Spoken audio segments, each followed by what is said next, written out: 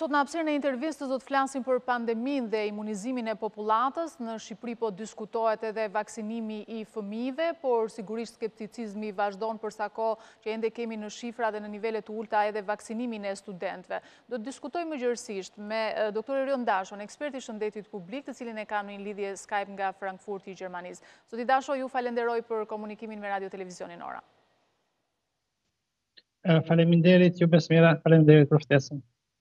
Amerika është në kushtet ku po pritet që të autorizojë rreth 28 milion fëmijëve të moshave nga 5 deri në 11 vjeç që të vaksinohen me Pfizer. Shqipëria është ende në diskutime në këto momente. Në Gjermani ndërkohë në dijeninë time dhe nga ato sa përcjellin lajmet ka nisur ky proces i vaksinimit në Itali po ashtu. Doktor, sa i rëndësishëm është procesi i vaksinimit të fëmijëve nga covid nëntëmbëdhjetë në këtë moment, për Shqipërinë?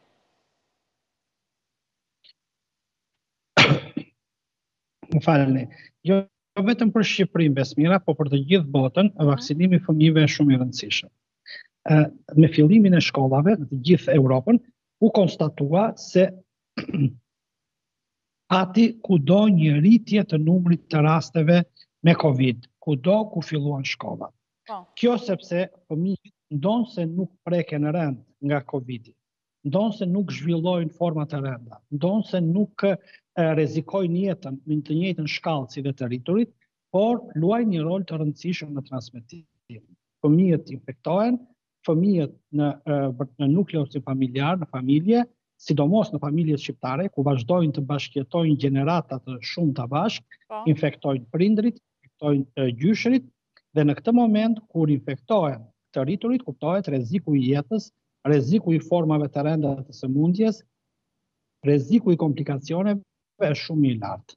Për këtë arsye, fëmijët janë një hallkë shumë e rëndësishme dhe parandalimi ose ulja e transmetimit, sa më shumë që të mundemi, ulja e formave simptomatike, sa më shumë që të mundemi, te kjo grupmoshë bëhet shumë e rëndësishme. Mhm. Për këtë arsye, që nga korriku, Europa ka rekomanduar vaksinimin e fëmijëve mbi 12 vjeç, dhe tashmë po, po konsideron dhe po është duke miratuar, le të themi, është në prag të miratimit, edhe të vaksinimit të fëmijëve me moshën pesë dhe njëmbëdhjetë vjeç, kjo pra, realizohet për dy qëllime. Po. Po, kjo realizohet për një qëllim shumë të madh. Pra, siç po e shpjegoja kur na u ndërpre komunikimi, fëmijët mund të mos preken në të njëjtën shkallë si dhe të rriturit, mund të manifestojnë forma të rënda të sëmundjes, mund të mos kenë humbje jete, por ata janë një hallkë shumë e rëndësishme në transmetim.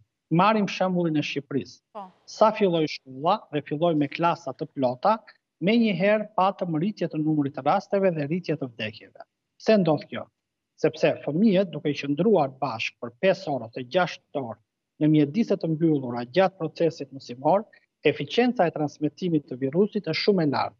Fëmijët infektohen dhe kur janë në familje infektojnë prindërit dhe gjyshërit duke infektuar ato grupmosha që e kanë shumë më të lartë shkallën e komplikacioneve dhe të humbjes së jetës.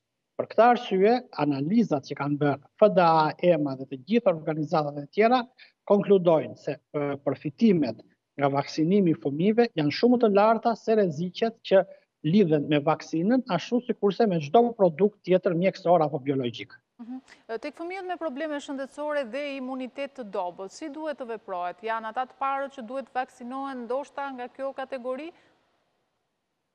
Patjetër, kjo kategori fëmijësh që sot i ofrohet mundësia e vaksinimit në Izrael, për shembull, pra të gjithë fëmijët me probleme imuniteti ose me probleme të caktuara shëndetësore, janë që tani kontingjent i vaksinimit për Covid, mhm. sepse është parë se tek këta fëmijë mundësia e zhvillimit të komplikacioneve, rreziku i humbjes së jetës është shumë i lartë se tek fëmijët e tjerë. Për këtë arsye, vaksinimi i këtyre fëmijëve Nuk është më, do të thoja unë, edhe një zgjedhje e prindërit, por duhet të jetë një domosdoshmëri. Prindi duhet të jetë i ndërgjegjshëm se në këtë rast nuk bëjmë fjalë thjesht për për të mbrojtur shëndetin publik tashmë, po bëjmë fjalë për mbrojtje të jetës dhe shëndetit të vetë fëmijës. Mhm. Doza që aplikohet tek fëmijët është e njëjtë me atë që kryejnë aktualisht të rriturit? Në dijenin time po, unë nuk kam duke mos qenë i përfshirë aktivisht në programin e vaksinimit si mjek vaksinator. Mhm. Unë jam unë punoj në shëndetin publik dhe nuk po. nuk punoj në nuk jam pediatër, por të paktën nga informacionet që kam është e njëjta dozë. Mhm. Dhe më e rekomanduara, nuk e di nëse është çështje politikash apo çështje PR-i, por më e rekomanduara deri më tani nga vaksinat është Pfizer. Keni informacione të tjera? jo më e rekomanduara, po e vetmja vaksinë e rekomanduar për përdorim në moshën nën 18 vjeç është Pfizer-i dhe nuk ka lidhje nuk ka lidhje as me politikat, as me PR-in, mhm. por ka lidhje me analizat që janë bërë vaksinës Pfizer dhe është konkluduar se kjo vaksinë është e sigurt për aplikim edhe në moshën pediatrike. Mhm. Pra, është e vetmja nga vaksinat që deri tani është miratuar jo thjesht me procedurë të përshpejtuar dhe për çështje emergjente, por ka tashmë miratim të plotë për përdorim në popullatën adulte. Mhm. Pra kjo rrit garancinë, rrit sigurisht edhe sigurinë për prindërit në Shqipëri. Megjithatë ju e njihni skepticizmin e shqiptarëve, nuk e di çfarë i druhen, apo gjithë materialet, apo dokumentacionin që i referohen edhe në rrjetet sociale, shpeshherë ndoshta edhe abuziv, ka një frikë të madhe për të vaksinuar fëmijët, sepse e pamë edhe tek studentët që numri nuk është i lartë. Në këto raste, çfarë do të rekomandonit dhe sugjeronit për prindërit shqiptarë? Prindërit shqiptarë nuk kanë faj. Për të folur, për të qenë të ndershëm dhe për të folur gjërat hapur, qeveria shqiptare dhe Ministria e Shëndetësisë e kanë humbur dhe kanë bërë gjithçka për të humbur besimin e publikut. Mos të harrojmë se doza e parë, dozat e para të vaksinës Pfizer erdhën me një çantë dore, erdhën pa u deklaruar vendi i origjinës, në shkelje me të gjitha rregullat e transportit të vaksinës Pfizer.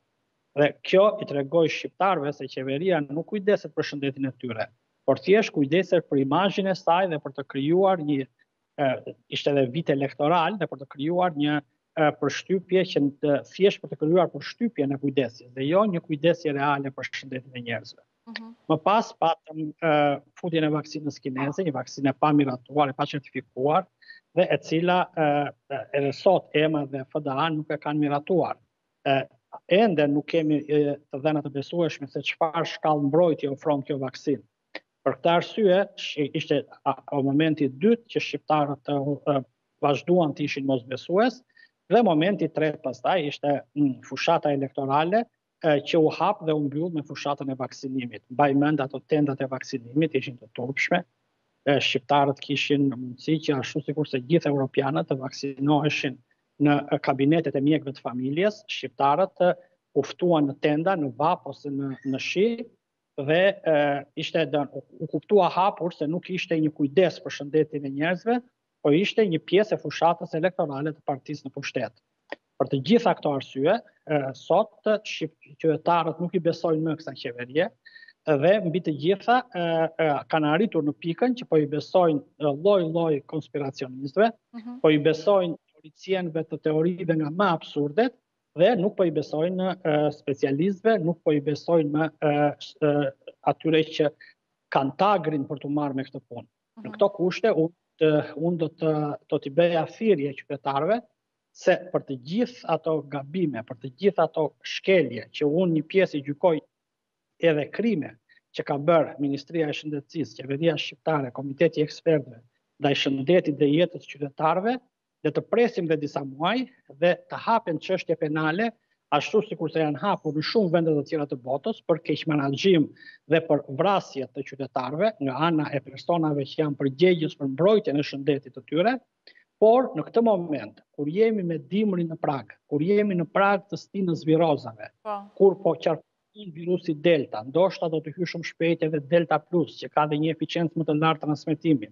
Mund të dalin edhe shtame të, ose variante të tjera të virusit, që të jenë edhe më të rrezikshme.